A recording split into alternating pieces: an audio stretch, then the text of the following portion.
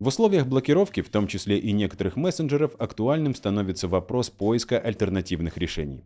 И таким альтернативным решением может стать, например, Session.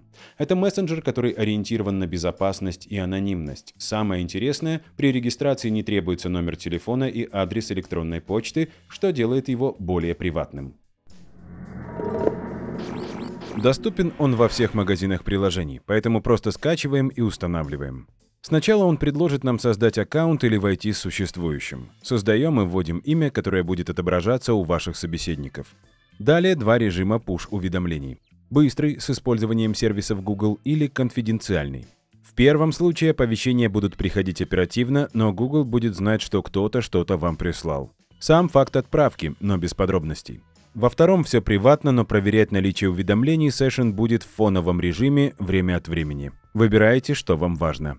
Теперь самое главное. Сохранить пароль восстановления. Вверху горит специальное уведомление. Этот пароль вам нужен для того, чтобы входить в аккаунт с разных устройств, ну или с вашего, если вы вышли из аккаунта. Поэтому рекомендуется сохранить его в каком-нибудь безопасном менеджере паролей. После того, как спрячете его, он доступен не будет. Теперь посмотрим, что же есть в настройках аккаунта. Самое главное – ваш ID.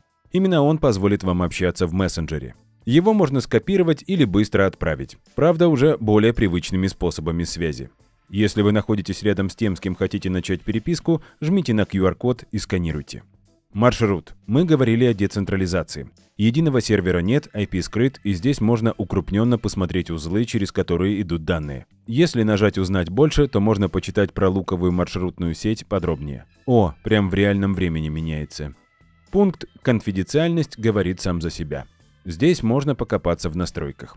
Обращу внимание только на то, что именно тут находится ползунок, который активирует звонки, в том числе и видео, правда пока в бета-версии. И Session предупреждает, что IP будет доступен абоненту и сервису разработчика.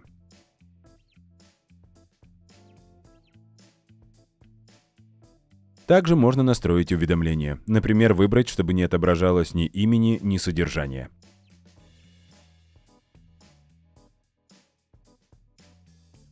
Ну и настройка оформления. Как же без него?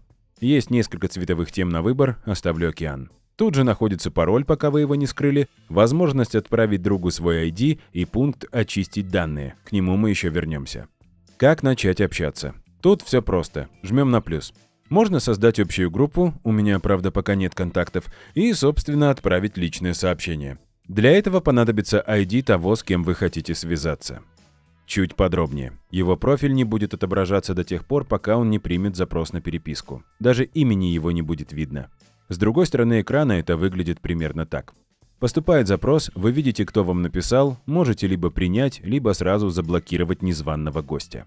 И вот когда вам ответили, тогда уже отобразится профиль. Сам чат мало чем отличается от привычных мессенджеров. Посмотреть все отправленные файлы, поиск, включить исчезающие и скопировать ID. Тут, конечно, вопросики. Получается, можно делиться контактом собеседника. Также на месте отправка всевозможных файлов есть база гифок и стикеров. Правда, метаданные до конца не защищены.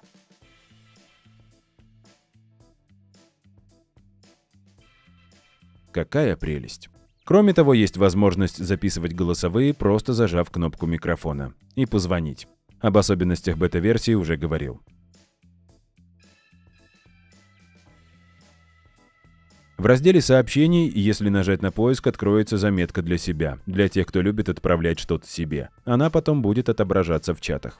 А теперь к самому противоречивому. Пункт «Очистить данные». Тут есть две возможности. Очистить только на устройстве или на устройстве и в сети.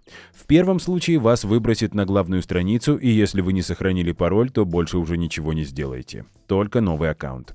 Если же введете пароль, попадете обратно. По сути, как кнопка выхода. Только вот оформление не сохранилось. Если же выбрать второй путь, то вас также вернет на главную страницу мессенджера, но после ввода пароля уже ничего не будет. Даже отображение имени.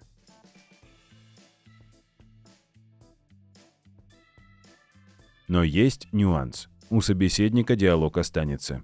И если он напишет, вам придет как новое сообщение. Вот так это выглядит с другой стороны. О, а уведомления о скриншоте присылаются. Это хорошо. Но есть еще одна история. Если у вас будет параллельно два сеанса на разных устройствах, то сотрете вы аккаунт только на одном.